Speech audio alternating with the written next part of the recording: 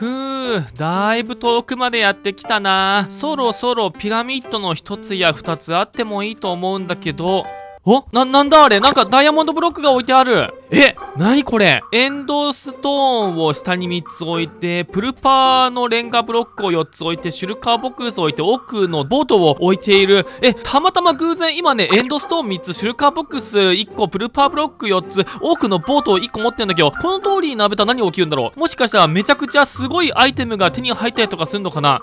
知恵の本。なんだこれ？とりあえず作ってみるか。え？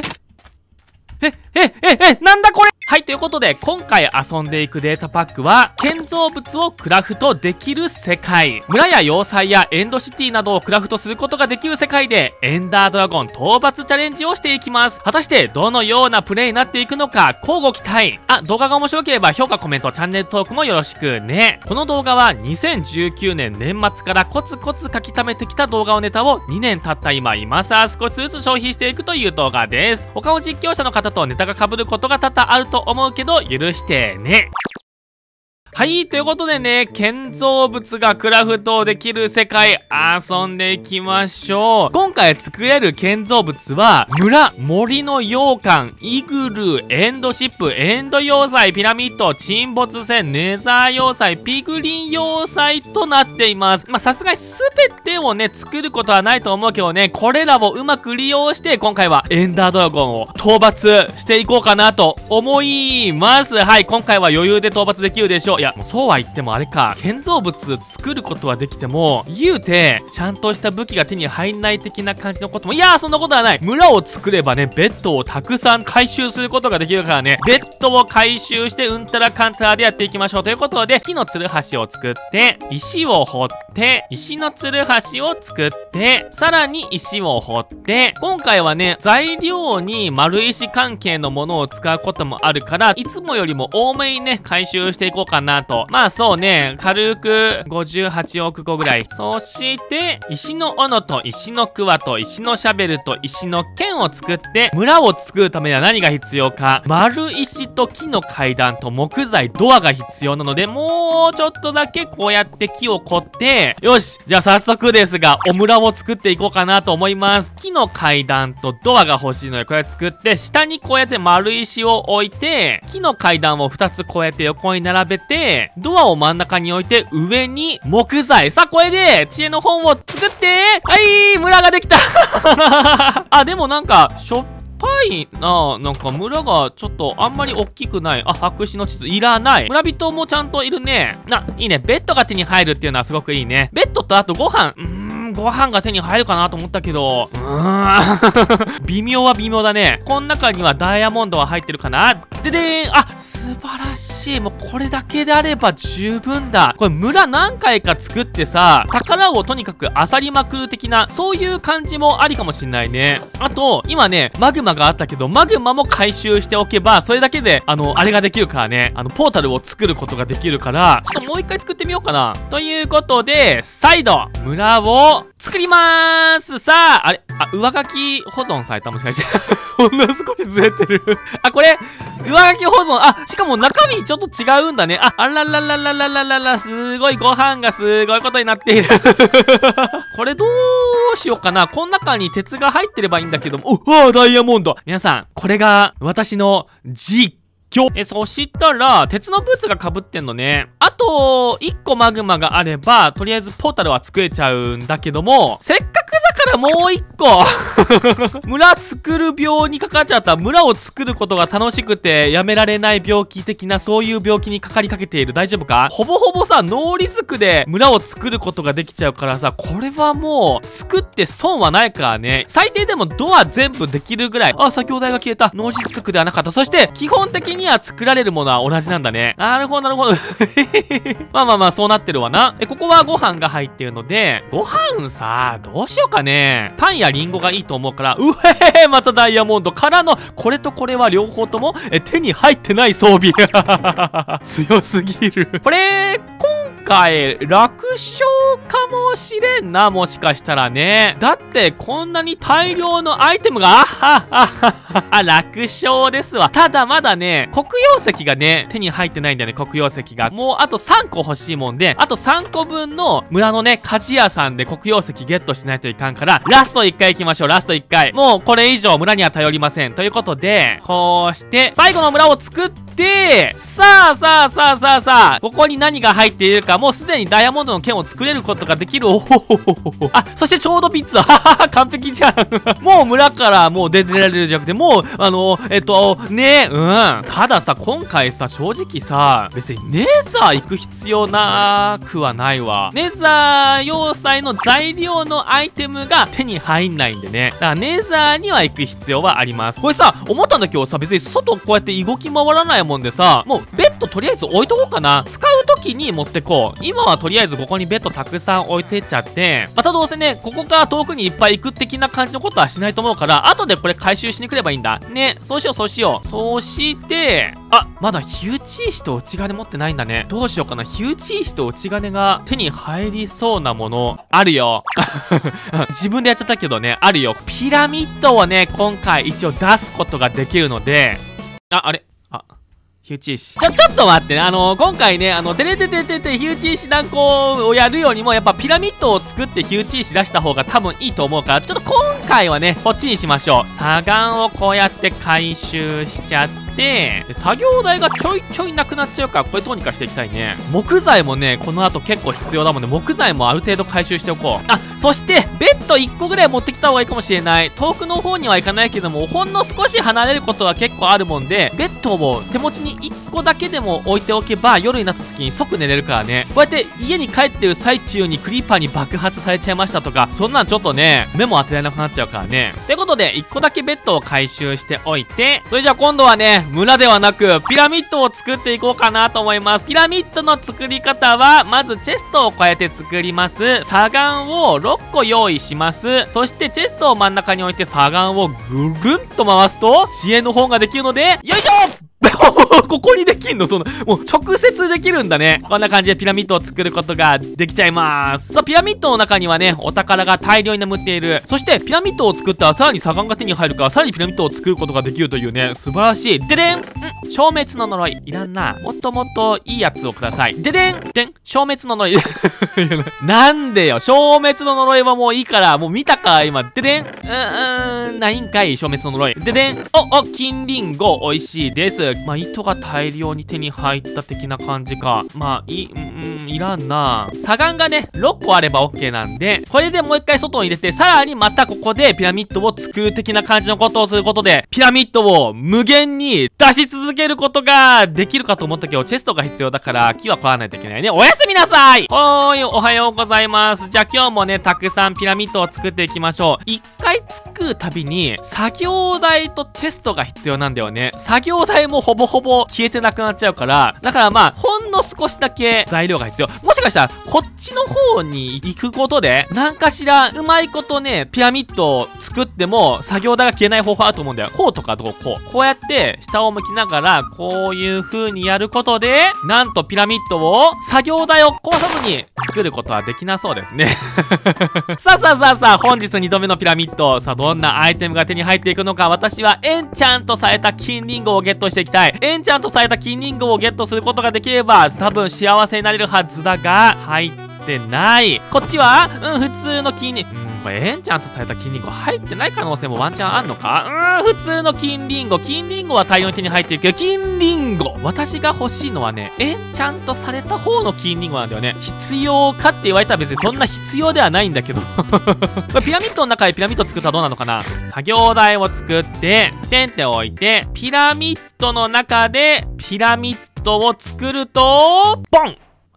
普通にピラミッドが上書きされますねと。そしてなんか暗いんですけど。なんでそんな暗いんですか？そしてな、なんだ、なんで、どっから生まれたんですか君？お、えー、あ、ちょっと上か？あ、これピラミッドの一部だ、これ多分。さっき作った時のピラミッドの一部が、これ、いっちゃってんだね。あ、アイテムが、このあったチェストの場所にアイテムがこうできたもんで、これ、あの、飛び散ってる的な感じからの金リンゴ2つ。2つ入ってることあるんだね。あ、金リンゴさらに入ってて。えー、えー、火炎耐性。消滅の呪いじゃないんかい。これは、しょ、しょ、小入れ食いさん。さあ、どうしよう。同じ場所に作ってしまうとね、スケさんが生まれちゃう可能性があるから、ちょっとこっちの方に行って、もう村なんて必要、いや、あるな。ベッドがあそこに置いてあるはずだから、村のところで作るっていうのもあんまりよろしくない。ということで、こっちの方少し移動して、私はそろそろね、エンチャントされた金リンゴをね、出していきます。もう3回、4回ぐらいで出すのがやっぱ実況者役だと思うから、まあ、見ててくださいよ。私ほどの実況者役があればね、3回、4回ピラミッドを見つけたで、なんと、エンチャントされた金リンゴをね、ゲットすることができちゃいます。いきますよ。でんからの、でんドン将来からの、でんうっちょっと嫌な予感がする。いや、ここにね、エンチャントされた金リンゴが入っていないだなんてことありえないからね。エンチャントされた金リンゴをね、受け入れるにはちょっとね、いらないアイテムがたくさんありすぎるということで、もうすぐ使わないようなアイテムは捨てていきましょう。ということでいきます。エンチャントされた金リンゴ、うん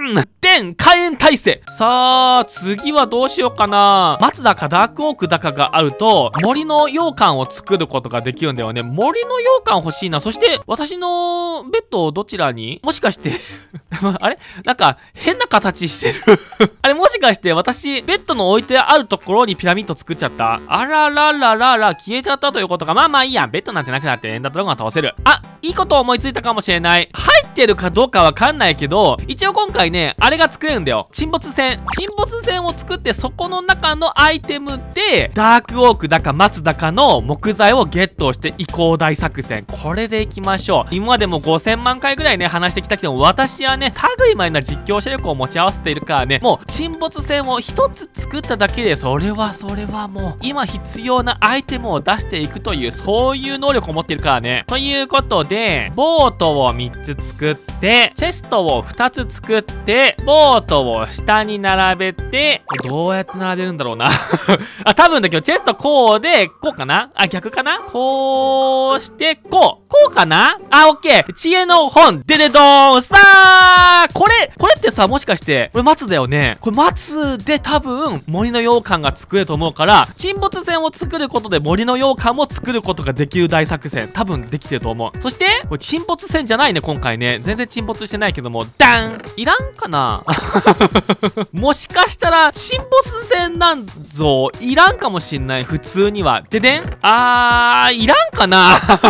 沈没船で手に入るアイテムでめちゃくちゃいいアイテムってあったっけ？なんか。あんまり記憶にござらんので、沈没船はこの辺で終わりにして、次のアイテムゲットしていきましょう。次はね、森の羊羹。森の羊羹の材料は、丸石3つ、羊毛1つ、そして、なー待って、エスケープをしちゃった。これはですね、後ろを振り向いて物を置く。はいはい。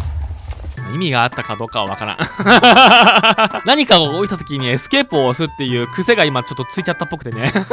えっと、森の洋館の材料は丸石3つ、羊毛1個、松の木材5個、もしくはダークオークの木材5個。羊毛が欲しいんだけども、ハサミを作っちゃって、本当だったらピラミッドの中にね、たくさん、あ、ベッドある ベッド残ってた。全然違うところに残ってたわ。あの、糸がね、ピラミッドの地下にいっぱいあったから、それを持ってきておけばね、羊毛になったんだけどもね、まあそこはちょっとご愛嬌ということでね、ということで、羊毛をゲットして、で、この後ね、森の羊羹作ると思うんだけど、森の羊羹って暗いんだよね。暗い中体験だったさ、暗い中ね、森の羊羹を攻略するのはちょっと大変なので、ここで、双葉ず愛ということでね、森の羊羹がこれで明るくなります。ちょっと夜に森の羊羹に行くのはやっぱりちょっと怖い。昼の方が安全な気がする、なんとなく。ということで、ててててて、寝るタイミングがすぐにわかる人、私ということでね、あの、今ね、ベッドでね、寝ることまだできないんだけど、寝るタイミングわかります。今です すごいんだかすごくないんだかもわからん。はい、おはようございます。そしたら、まずは松の板材作って、森の羊羹の材料は丸石3つ、そして羊毛が1つからの松の木材が5個あー、ダークオークでした 森の洋館、ダークオークですわ、これ。しかも、あなたどこから来てるの？あ、これ森の洋館、今回行くことはできないですね。多分あの、双葉ゲームズの編集班の方募集中の時に多分やってると思うんで、そっちの方で見てください。カバゲームズの編集班の方募集中私の実況を面白おかしく編集してくれる方を募集しています。詳細は動画の説明欄の応募フォームをご参照ください。ということでね、今からね、森の羊羹を作って、この木の剣だけを持って、不死のトーテムをね、ゲットしていこうかなと思います。さあ、今回はダークオークの液体を持っているので、こうすることで知恵の本を作ることができて、ここに森の羊羹ができます。そして2階にね、不死のトーテムを落とす敵が出てくるので、その子を倒していきましょう。さあ、どこにいる？こっちか？こっちにいるのか？まあ、私ぐらいの実況者があればね、裸で木の剣で行くだけでもう余裕のよっちゃんでね、不死の、いたさあ、勝負だ！よいしょ！よいしょ！よいしょ！あ、ええー、そんな強いの？さあ、そしたら、そろそろね、ネザー要塞に向けて頑張っていこうかなと思います。金もね、12個あるので、とりあえず、金の足元を作っちゃって、これをここにやってと、はい、これでネザーに向かい、あ、待って、私さ、何のために、火打ち石をゲットしに行ったんだって、これね、ピラミッドを作ったの何のために作ったんだっていう話だよね。火打ち石をゲットするためにピラミッドを作ったんだけどさ、でんかったね。ということで、ででででで、何個目の火打ち石で砂利が出るでしょうクイズということで私の予想は4。まあもうね、毎回毎回当たってるからな、これな。予想がね、全部当たってて申し訳ないなって思うから、1! 火打ち石と内金を作って、ここにパンポンパンポン、パンポンパン、ポンポンパン、パーン、ポポンとやって、ザーッと。さあ、私が実況者役ちょっと待ってください。盾があった方が絶対ね、安全なので盾を作って、さあ、私がの実況者役は、ネザー要塞がもうネザーにいた目の前にあるという、そういう感じのね。でも、今回は大丈夫。なんと、ネザー要塞がなくても、目の前にネザー要塞を作り出すことができます。どうやって作るかというと、まずネザーラックをこうやって回収していきますそしてかまどを作りますおやおや、こんなところに丸石がちょうどあるぞ。これは便利だな。え、てか、かまど、普通にここにあるけどね まあまあまあまあまあ、別にね、家はね、壊すためにあるってね、マリアントワネとか言ってたからね。そして、かまどをこうやって作って、ネザーラックをね、焼きます。ん石炭があまりにも足りなすぎる。そういう時はね、ネザーなんでね、なんと、マグマをゲットすることでね、マグマ1個で100個ものアイテムをね、精錬することができるんだけど、いい感じのところにマグマがないぞ。届くこれ。これ本当に届くか？あ、ちょっと待って、私、ちょっと、面白いこと考えたんだけどさ、このネザーでさ、村作ったらどうなるんだろう？とてもとても大変なことになりそうな予感もするけども、いやー、面白いことになるんじゃないかなと思うんだけど、どうなんだろうな？何が起きるんだろうね？ネザーで村を作ったら、ちょっと作ってみたいなえー、ということで、丸石を3つ、えー、丸い、丸石を3つ置いて、階段をこうやって置いて、木材を置いて、これをこうやって置きます。そして村をベンあ、普通に村が出来上がった。あ、待って。かまどかまど？え、かまどどこいた？かまどあ、うわ、こ、あ、あ、もう、なんということだ。まあいいや、こっちになるからね。ネザーラックと。こ、これいい案だね。かまども新しくできるし。あ、ああ、ネザーは暗いからね、作物がぶっ壊れちゃったよね。あ、すごいでも素敵な光景。ゾンビピグリンと村人の、あ、素敵な光景。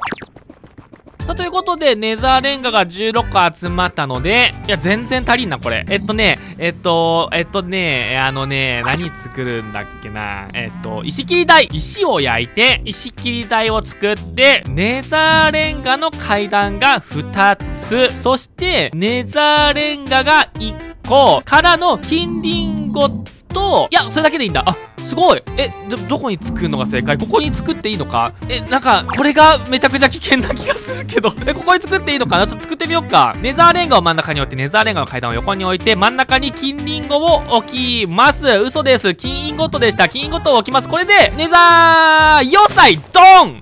うわーやっぱりギリセーフあ、ていうかさ、別にネザーに作る必要なかったよね、これね。なんで私わざわざこんな危険なネザーに作ったんだろうもう地上に帰って、地上でこれ作ればもっともっと安全だったかもしれない。でも、私ね、思ったんだ。前もね、こういう構造体を作るようなやつやったんだけどさ、暗い方が楽。暗い場所を作る方が逆にめんどくさいっていうところがあるからね。だからこれはあえて暗い中で戦っていこうかなと思います。ということで、でダイヤモンドの剣を作って、さあ、どこにあるんだ？これは。なんか見た感じさ、前やったやつと同じような形じゃない？これ。いつも同じような形のものが出来上がってるような気がするな、なんか。まあ、いつかね、あの、こういう動画ね、やったんでね、あのぜひまだ見てない方は見てもらって、さあ、ここに、ブレイズが生まれるので、よいしょはい、オッケー、1個まあ、サクサク、サクサクと、これ倒していきましょう。はい、ということで、ブレイズドットも7本ゲットしました。そしたら、エンダーパールをうまくゲットできる方法はあるのか？あ、ピグリン要塞も作ることができるっぽいんだよね。ただ、そのためにはね、ブラックストーンが必要で、ブラックストーン？近くにブラックストーンがある場所あるかな？ブラックストーン。見た感じ、ブラックストーンがなさそうかに思えたが、これなんだ？何それ？なんでそんなブラックストーンがありそうな感じのアイテムがそこに？とりあえず、ブラックストーン見つけてきまーす。はーい、ということで、ブラックストーン見つけてきました。そしたらね、ピグリン要塞をね、作っていこうかなと思います。ピグリン要塞で必要なアイテム、金ブロック。え足りない。まさかの。どうしようかな。2個しか足りないブロックないから、これは、ここにあるはずだから、きっと。あったあったあったあったあったあった。え、水が流れてる今更だけどすげえ !2 ブロックでしょ ?2 ブロックだったら、すぐ手に入るよね、きっとね。うー。びっくりした。さあここにたくさんあるのでこの辺を回収していきましょう。はいオッケー。18個あればオッケー。27個オッケー。さあそしたらこれで金インゴットを作ってそれからの金ブロックを作ってネザーラックを3つ上にこうやってやってブラックストーンも5個こうやってやって真ん中に金ブロックをやります。えー、っと多分逆っぽい。こうあれあ違う。あれ？ネザーレンガだっけ？あれ？え？えー、あれ？ちょっと待って。こっちか？え、絶対違う気がする。磨かれたブラックストーンだから。え、あれ？あれ？れ？れ？え？ー、うえー、ちょっと調べてきまーす。はーい、調べてきました。全然違いました。こうして、こうして、こう。からの、こうやってやって、最後に、こうですね。これで、ピグリン要塞を作ることができまーすおー で、ピグリン要塞作ったはいいんだけども、ピグリン要塞にさ、エンダーパールあったっけ？どうだっけ？あの、一応ね、ピグリンとの取引をすることで、エンダーパールをね、ゲットすることはできるんだけども、ピグリンって地上に来ちゃうと、ゾンビピグリンになっちゃうんだよね。だもんで、今ここにいる子たちはみんなゾンビピグリンだから、取引がね、できない。うわー、クリーパーだらけだ。これどこに行くのが正解なんだろうね。どこが一番ゲットしやすいんだアイテムを。あそこかなあそこ。あそこの 嫌な予感がす。前あそこに行った時すごいことになったんだよな。ピグリンブルートがまだいる、いたんだよね。それで、いろいろとダメなことになってね、爆発してね、死んじゃったっていう